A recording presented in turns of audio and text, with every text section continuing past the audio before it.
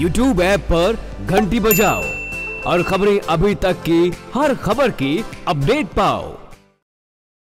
चलिए सीधा रुक करेंगे इस वक्त की बड़ी खबर का, जो कि चंडीगढ़ से आ रही है, जहाँ पर विधानसभा का आज सत्र का आखिरी दिन है और एक्सटेंशन लेक्चरार का मुद्दा यहाँ पर उठाया गया है। तो विधानसभा में लगातार आए दिन कोई ना कोई अहम मुद्दा उठाया जाता है और अब एक्सटेंशन लेक्चरार का मुद्दा उठाया जा रहा है।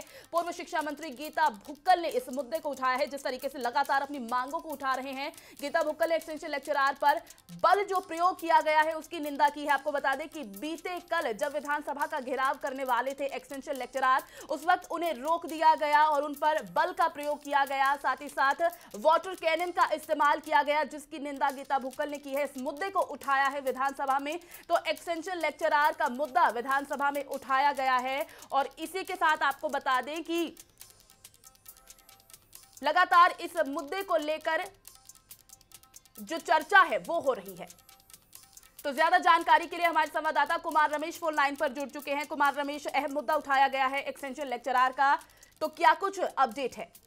देखिए सदन में जो है गीता बुक्कल ने मुद्दा उठाया और कहा कि मैं उसकी निंदा करते हुए किस कदर जो है बल प्रयोग किया गया और पानी की बौछारें की गई।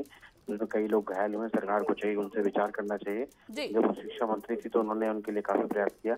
और अब शिक्षा मंत्री को चाहिए कि जब सभी को देख रहे हैं तो उनके बारे में विचार करना चाहिए। जिस पर शिक्षा मंत्री ने कहा कि उनसे बातचीत भी हुई है और उनके कार्यकाल में सैलरी जो है बढ़ाई गई है। आपके कार्यकाल में सैलरी कम थी कांग्रेस के कार्यकाल में लेकिन भारतीय जनता पार्टी के कार्यकाल में सैलरी बढ़ाई गई और जो आगामी जो समस्या है जो उनके साथ जो भी चीज़ चल रही है उन पर भी बैठ के बातचीत की जाएगी। तो कपाल रमेश जिस तरीके से अपनी मांगों को लेकर लगातार ये प्रदर्शन पर प्रदर्शन कर रहे हैं और बीते कल की बात अगर की जाए तो विधानसभा का घेराव इन्होंने किया था।